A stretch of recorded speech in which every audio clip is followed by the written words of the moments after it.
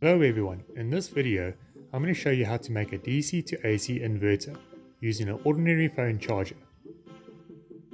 So we're going to start by taking apart the phone charger. All you're going to be using from the charger is the transformer.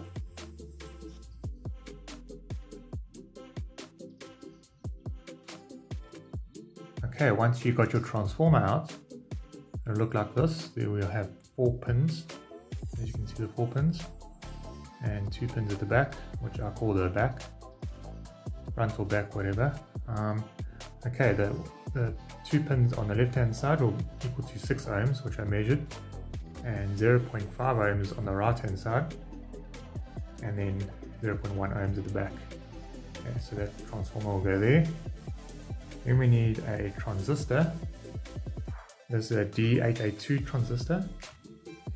Okay, now just be very careful with this. In a picture, the transistor will look like this, emitter, collector and base. But in a wiring diagram, it will look like this, base, emitter and collector. It looks like the base is in the middle of the wiring diagram. You have to wire it like it is in the wiring diagram, okay? Otherwise it won't work.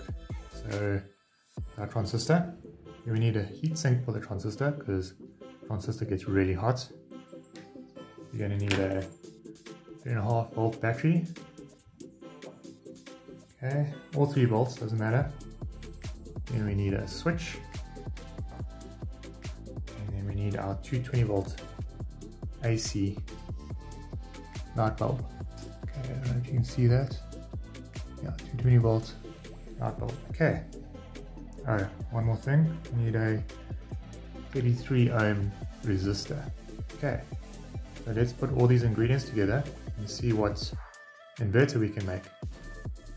Okay, for starters, we are going to screw our transistor to our heatsink. Just make sure that the, the metal side is onto the heatsink like that. So let's go ahead and screw that on.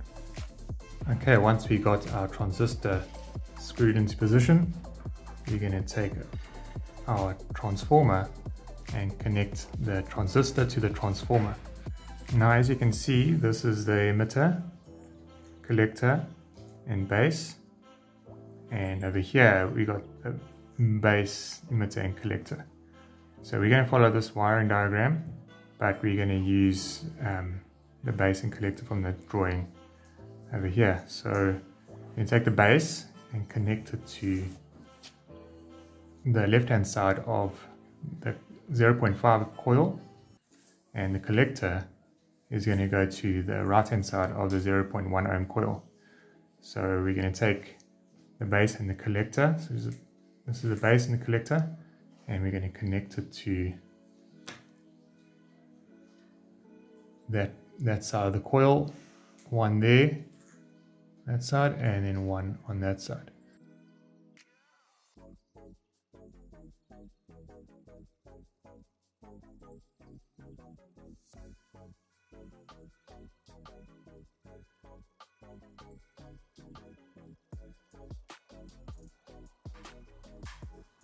Okay, so now you can see where this is joined onto.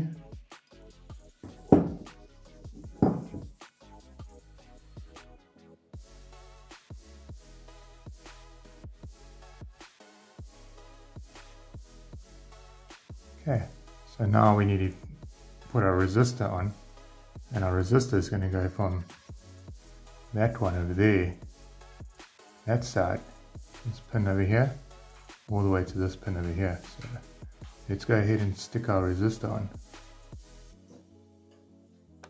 Okay, so we can see that our resistor will be connected to the 0.1 ohm coil on the left hand side and will also be connected to our 0.5 ohm coil on the right hand side. So that'll be connected over there on the corner and onto the side over here. Okay, so let's go and solder that on.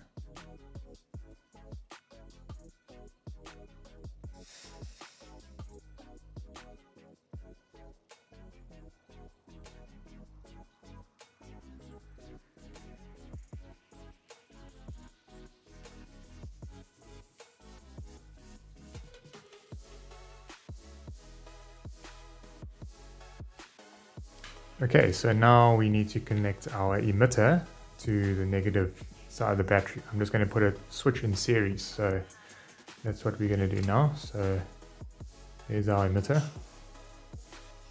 Okay, we're going to connect a switch to the emitter and then it's going to come out the other side and go to our battery. Okay, so let's solder that on. Okay, so now that we got our emitter connected to our switch and uh, the negative part of the battery, and now we're going to put the positive lead to the resistor, which is over here, onto the transformer.